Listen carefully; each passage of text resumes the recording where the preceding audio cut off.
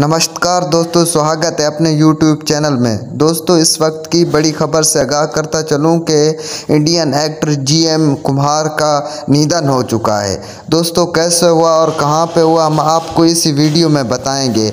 लेकिन आपसे रिक्वेस्ट है कि आप हमारे YouTube चैनल को सब्सक्राइब कर दें और बिल आइकॉन को प्रेस कर दें ताकि आने वाली वीडियो हर आप तक पहुँचती रहे। दोस्तों, ये इंडियन बड़ा एक्टर था जिसका भी अभी निधन हो चुका है। बारे में जो भी खबर आती रहेगी, हम आप तक शेयर करते रहेंगे। अगर आप इसके फ़ैन हो तो कमेंट्स में ज़रूर जवाब देना। Thank for watching.